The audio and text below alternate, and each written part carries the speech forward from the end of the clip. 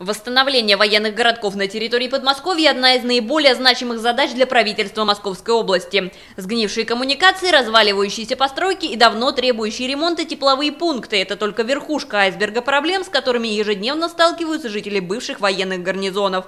Поэтому реконструкции ветхих зданий и сетей областные чиновники сегодня уделяют особое внимание.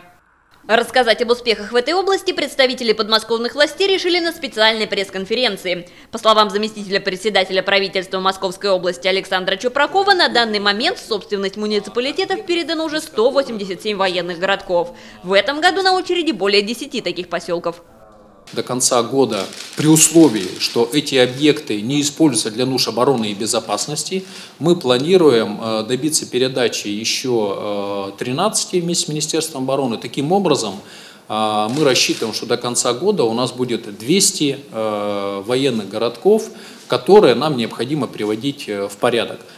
В 58 уже переданных городках существуют не только служебные объекты, но и жилые здания. А это значит, что сооружения инфраструктуры, к которым подключены многоквартирные дома, должны работать исправно и четко. Это более 100 котельных, это более 150 а, водозаборных сооружений и скважинных. Это емкости чистой воды, более 10 штук, более 5000 кубов, э, кубов. Это более 70 очистных сооружений. И вот цифры сетей тоже заслуживают внимания, потому что получается почти 2000 километров сетей тепловых, канализационных, водопроводных находятся в этих военных городках. Во время передачи военного городка власти внимательно анализируют состояние всех сооружений и коммуникаций, чтобы понять, что делать дальше. Больше всего проблем выявляется именно в области жилищно-коммунального хозяйства, поэтому к 2016 году правительство Московской области увеличило финансирование в 4 раза. Теперь сумма, которую областные чиновники собираются потратить на восстановление бывших военных гарнизонов, равна 3,5 миллиардам рублей. Эти деньги будут потрачены на благоустройство дорог, приведение в порядок объектов соцкультбыта и ремонт коммунальных сетей.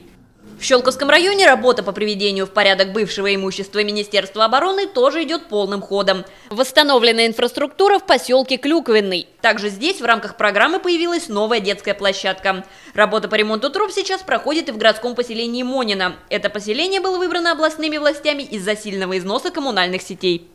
Все коммуникации, все коммуникации на территории военного городка а, меняется. Конечно, это создает определенные неудобства для жителей, потому что тепловые сети и сети водопровода у нас идут к каждому дому. Тем не менее, вы видите, какая-то масштабная работа. Практически весь городок перерыт и будут заменены современными трубами а, эти элементы.